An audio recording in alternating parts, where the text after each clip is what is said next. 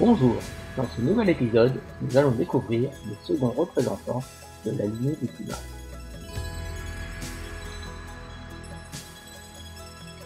Le guépard.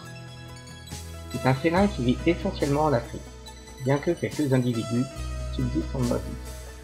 Son pelage est de couleur fauve, très pâle au niveau du Sahara, et il est entièrement tacheté. Le menton, le ventre et la gorge sont blanchâtres. Jeunes naissent avec une crinière sombre au niveau du cou et du dos, crinière qui s'estompe avec l'âge. Ses oreilles sont petites et rondes, avec le revers sombre à la base et blanchâtre à son extrémité.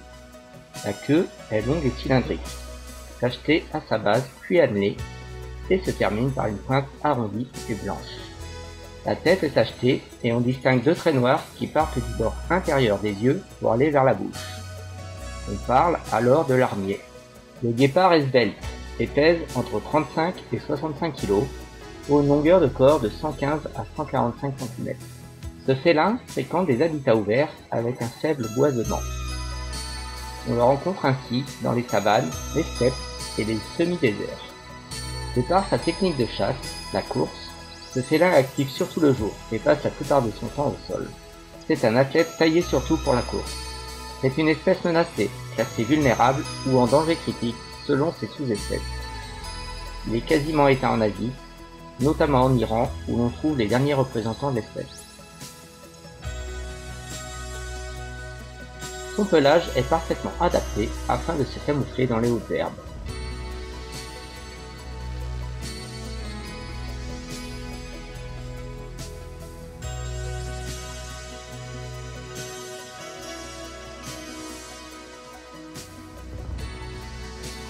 Remarquez son crâne court, ses longues pattes et sa longue queue adaptée à la course.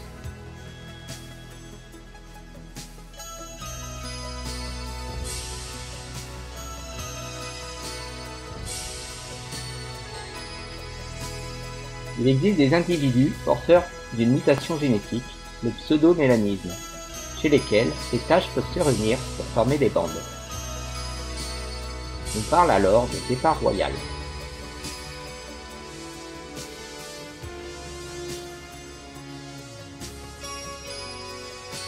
On distingue bien les deux larmes noires de ce guépard. Regardez l'élégance de ce félin, souple et svelte. Ses petites oreilles, écartées et placées sur les côtés de la tête, ont un revers noir à la base et blanchâtre à son extrémité. Le guépard chasse principalement des ondulés de taille moyenne, gazelle, springbok ou impala. Admirez l'athlète. Ses griffes, semi-rétractiles, restent toujours visibles et lui servent de tampon lors de ses courses effrénées.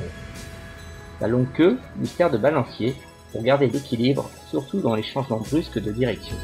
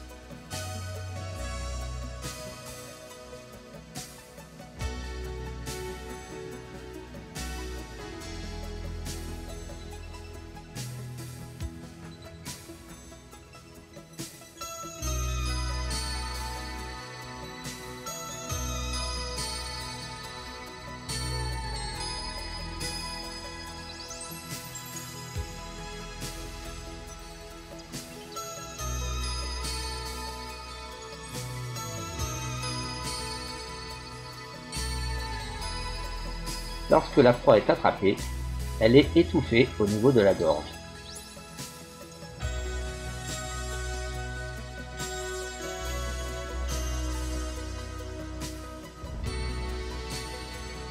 Bien qu'ils soient plutôt solitaires, on rencontre des coalitions de mâles qui peuvent chasser des proies plus conséquentes, comme ce gnou.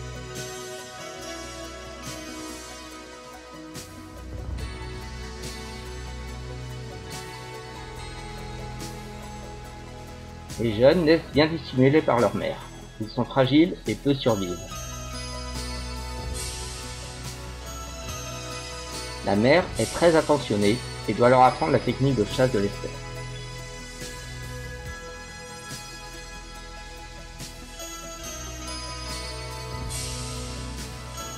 Pour cela, elle apporte des proies vivantes afin que les jeunes s'exercent à attraper et tuer une proie.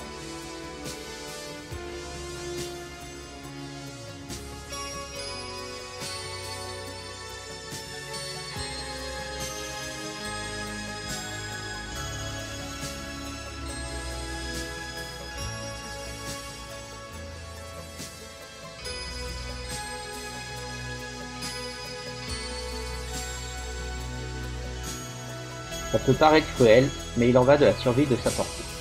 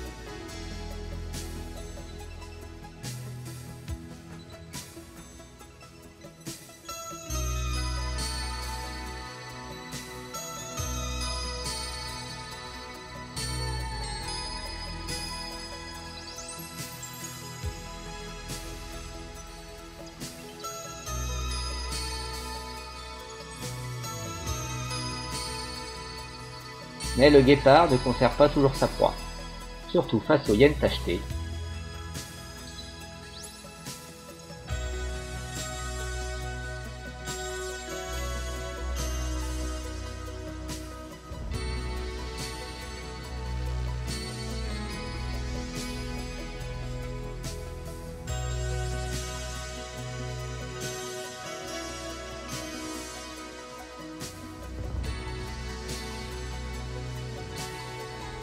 Face à un babouin.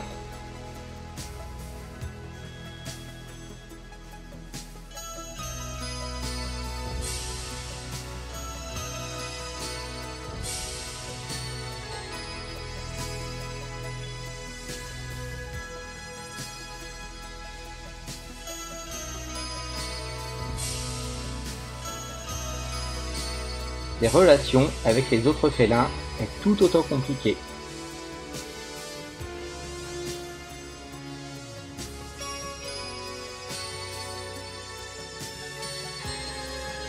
Et parfois mortelle.